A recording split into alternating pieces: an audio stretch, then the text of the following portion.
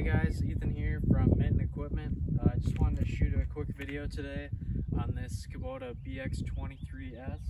Um, this tractor only has 40 hours on it, um, and it's a 2021, so it pretty much has all the warranty remaining on it. Um, it's just a really nice tractor. Of course, it only has 40 hours, but I wanted to point out a few of the things um, about this backhoe model specifically. Um, I don't see these very often, but we can start up here in this box. Um, it is an option from Kubota to get the three-point hitch kit. So I still have all of the three-point hitch components.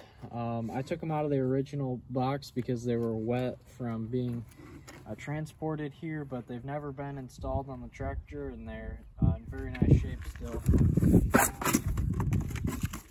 Uh, also, you can see this tractor is optioned with this bolt-on cutting edge. Um, this is just something that you can option from Kubota. So um, they did utilize the factory holes that were drilled in the bucket. Um, and this is just a little protection against some extra wear. It's a couple hundred bucks extra uh, from Kubota, I think. Uh, so this tractor is pretty much fully optioned out. It also has this skid steer quick attach bucket. So we can just pull a lever here on each side and pop the bucket off the tractor and put on a set of forks or if you wanted to a grapple bucket. Uh, you can see it's kind of got, it has a different design of brush guard in comparison with uh, the standard BX tractors. One of the nice things that I did notice about this new backhoe model um, that Kubota hasn't previously put on their tractors is that we have these uh, chain hooks on the back here. If you ever trailered one of these, you know there's not a very, there's no real good spot on the back of the tractor to uh, tie the tractor down without using these steps or going around the backhoe itself here. But now we have some nice um, metal rings here that you can hook a set of straps on or put some chains around. This tractor has a 16 inch backhoe bucket on it. This is the biggest bucket you can get for this tractor. So probably not ideal for trenching, but uh, you could move a lot of material pretty quickly with this as it does have the larger bucket. Now taking something from the older Kubota BX backhoe models, they've gone back to this kind of clamshell uh, design here on the backhoe. This is something that I really missed on some of the backhoes like the BX25 and the 25D where they just have the pin.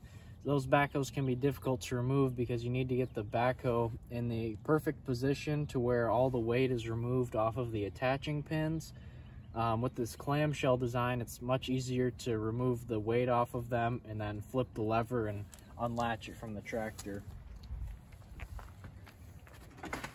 if you are a tall person, you know, you're six feet tall or so, you might want to consider a backhoe model just because the seat height is a bit higher on the backhoe because you do have a swivel seat frame in here that adds maybe an inch and a half or two inches of height to the seat. Um, so it is a lot more comfortable, I feel like, being raised up higher. And you also notice that Kubota has raised the steering wheel. Um, so this is also uh, in a comfortable position. Uh, this lever might possibly be taller, but the rest of these are still a little bit low here. Aside from that, guys, that's really all I have to say about this tractor. It's a 2021, so it has warranty until I think uh, 2027 on the powertrain. Uh, it's in great shape. If you want to save a little money off of a new version, uh, we got this one here uh, up for sale for $22,000 out the door. That includes sales tax for uh, Michigan residents. But anyways, guys, thanks for watching. If you got any thoughts on these BX backhoe tractors, leave them in the comments below. Uh, you can find us at mittenequipment.com.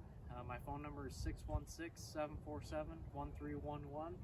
Uh, we're in Rockford, Michigan. But anyways, guys, thanks for watching the video. I'll see you in the next one.